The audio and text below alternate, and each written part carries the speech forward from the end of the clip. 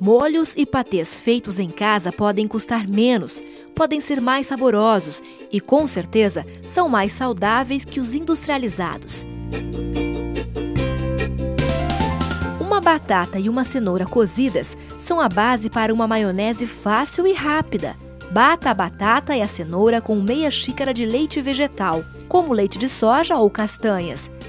Tempere a mistura com um pouco de sal, três fatias de cebola e um dente de alho. Retire o olho do alho para evitar transtornos com odores depois.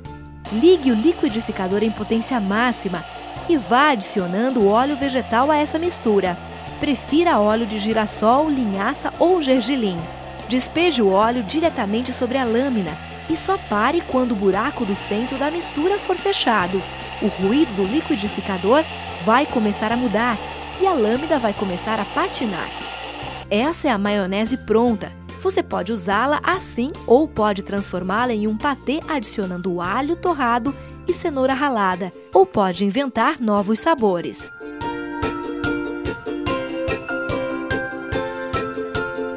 Também é possível fazer um patê sem usar o óleo para dar ponto. Corte uma peça de tofu de 500 gramas em quatro partes. Leve individualmente cada unidade de tofu ao processador e tempere com rodelas de cebola, alho, uma pitada de sal marinho e 4 colheres de azeite de oliva. Esses são temperos básicos para qualquer receita de pasta de tofu.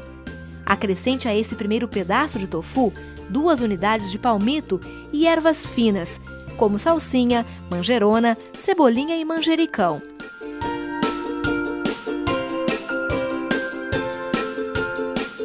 Processe a outra unidade do tofu com os temperos básicos e com uma xícara de tomate seco e orégano.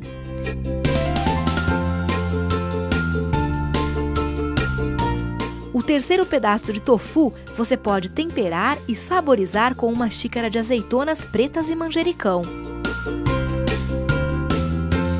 E ao quarto pedaço de tofu, adicione os temperos básicos e somente duas unidades de palmito e bata. Você pode usar essa pasta como patê para rechear legumes e assados ou em receitas para substituir o catupiry. Esse é o famoso tofu piri.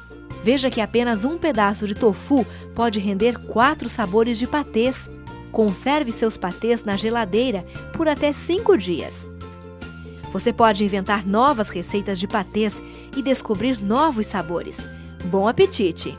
O uso de molhos e patês na comida, como o ketchup, a maionese, a mostarda ou até mesmo molhos prontos para saladas, eles não são recomendados para a saúde em função de eles terem muitas vezes gordura na sua composição, como é o caso da maionese.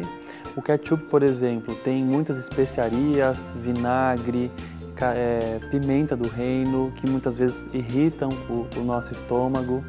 E esses molhos, eles também são muito carregados no sal.